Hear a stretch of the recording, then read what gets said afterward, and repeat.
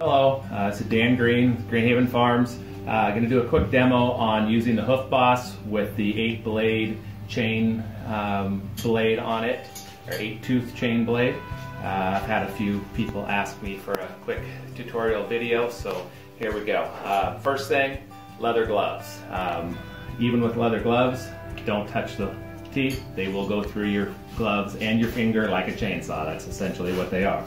Um, this is Rhea. She's one of my milking yearlings here. Uh, we're gonna take care of her feet here. You can see her feet are slightly overgrown, not too bad, a little bit of excess growth on the wall.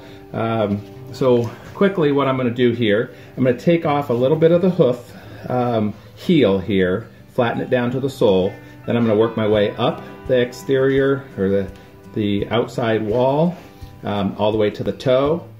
I'll do the same thing on the inside wall to the toe, and then I'll flatten out the, the sole a little bit and remove any excess toe length. So here we go.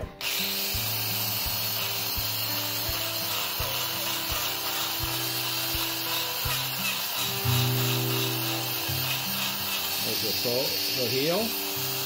Work my way along the outside wall.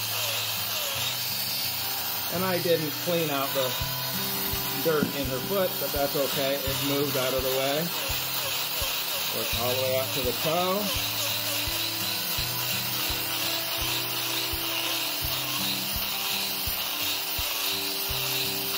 I'm going to take down the inside wall.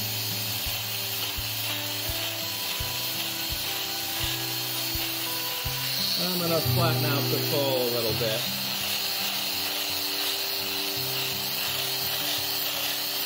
And remove any excess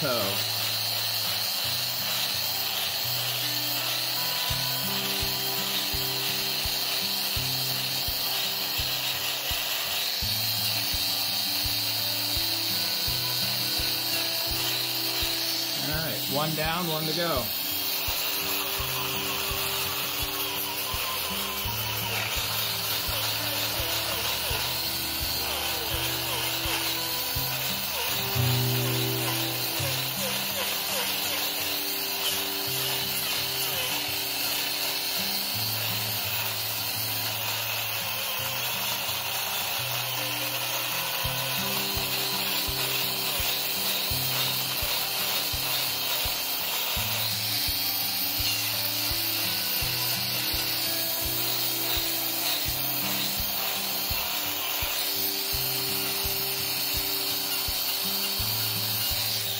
All right, now if I were going to take her into a show ring at this point, I'd come back and take this little bit. You see just a little bit of, of hoof wall uh, tag here.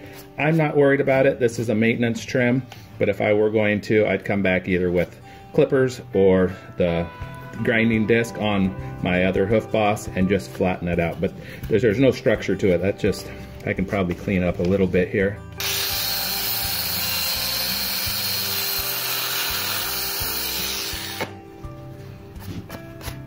There you go. Now if we look at, put her toe down, look at her front foot compared to her other front foot, you see how the angle has been corrected. All right,